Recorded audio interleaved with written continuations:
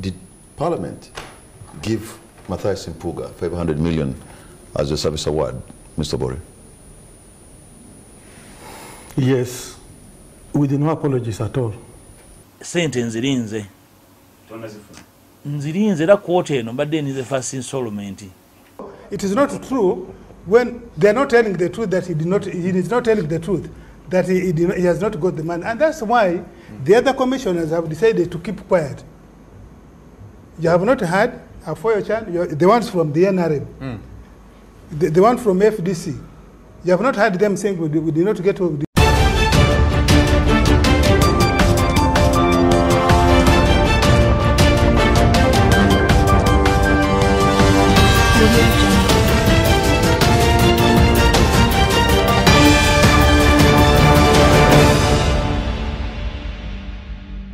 Yes, how are you, everyone?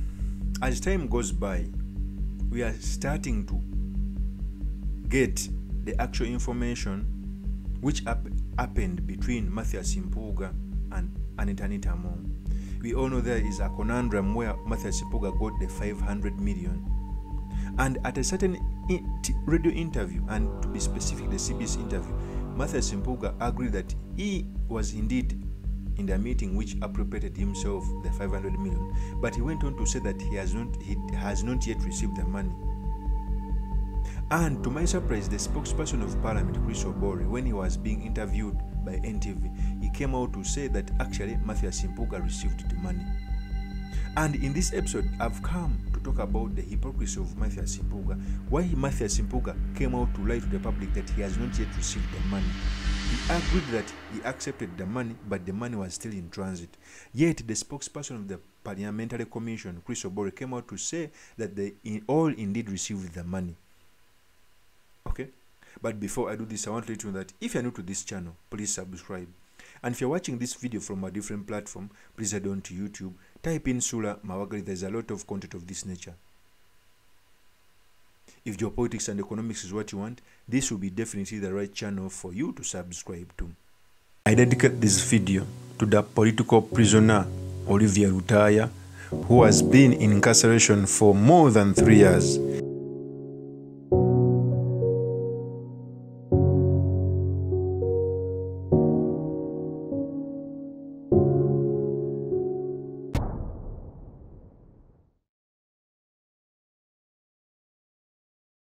So we all know that it, it, Bo- Bobi Wine castigated his deputy president Mathias Mpuuga for having been among the people who operated themselves the 500 and 400 million respectively. And he called him to resign from the commission. When Mpuuga came out to rebuttal, he said a lot of things, and among the things he talked about was he, he accepted that indeed was in the, in the meeting which made him get the 500 million, but he went on to say that he has not yet received the money, that the money was in transit, and he was going to get the first money in this quarter. But news reaching us, the spokesperson of the Parliamentary Commission has come out to say that they indeed received the money, which means that Mpuuga is lying.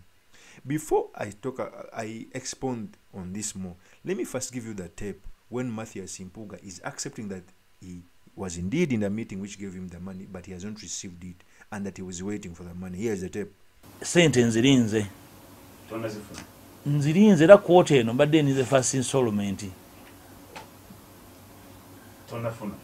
Oyagala kumperekera kunkuweeko nawe oli muku- oli- oli- sebo ninze installment yange esooka kubanga nagwanira oku- okuweebwa akasiima ako So that is Matthias Impuga. Earlier today, when crystal bore was on NTV, he indeed came out to say that the commissioners who get who uh, got money and that he doesn't have any apology to make for the commissioners to get money. And this refutes the claims of Matthias Impuga, which makes Matthias mpuga criminal and hypocritical. And I pity those people coming out to defend him that because he's a HTW. As we go on, I keep on telling people that lies move fast, the truth move moves slowly, but it will reach before the lies. During a, a, a, a, a political pundit show on NTV, Chris Obore came out to reveal that actually Mathias Mpuuga already received their money because this was a deal which was done in 2022.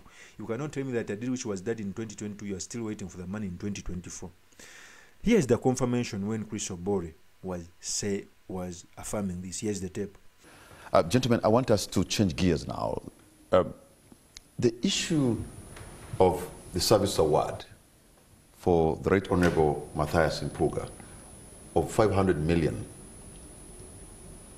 did Parliament give Mathias Mpuuga 500 million as a service award, Mr. Bore? Yes, with no apologies at all.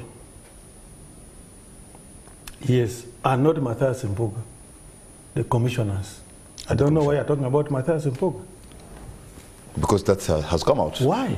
It has been, he has led We to his party we to tell him to... we to. gave to the commissioners of parliament, How much? and by law, we are entitled to give.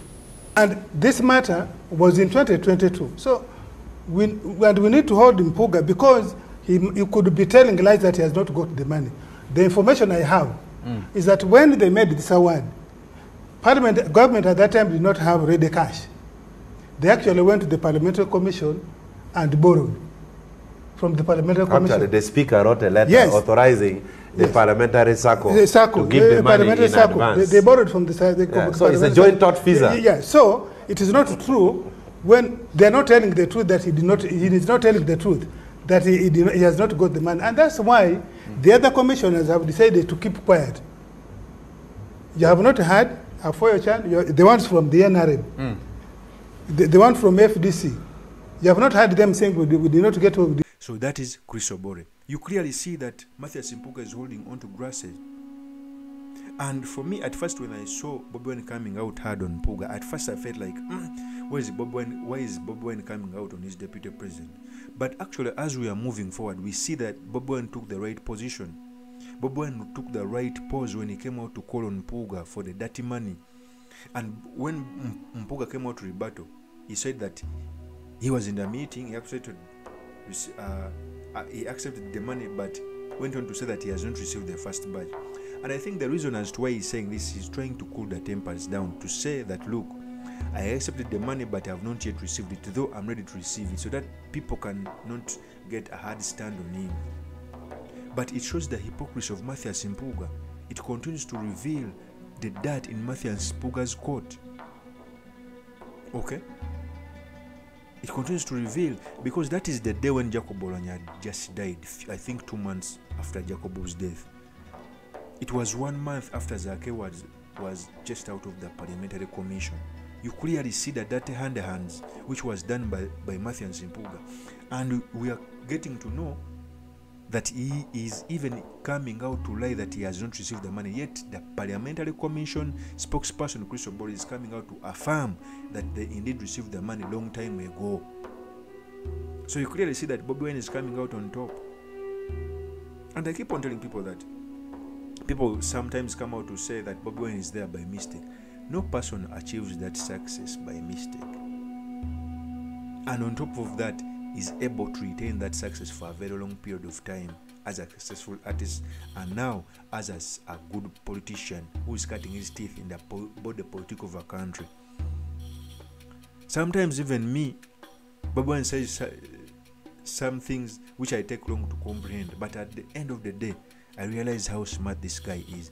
By Bobi Wine coming out to castigate his deputy president in Uganda, it will show, lead by example that even other deputy president in other parts of the country want to do the same.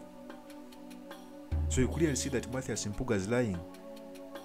And when you lie, sometimes you give another another lie to cover the lie. Then you give another lie to cover the lie. Matthew Mpuuga lied that he didn't he accepted the money but he has not yet received the money. And the Parliamentary Commission spokesperson Chris Obore is coming out to say that they indeed received their money. So who is deceiving who? You clearly see that that of Mathias Mpuuga is in public. And since you're nearing election, it will be it will have a great effect on Mathias Mpuuga's political discourse. Of course that's my opinion. Drop me your comments by commenting about this. Thank you very much for listening in. If this is your first time on this youtube channel i implore you to subscribe like and comment so that i can be motivated to do more of such videos. I'll see you on another one. Peace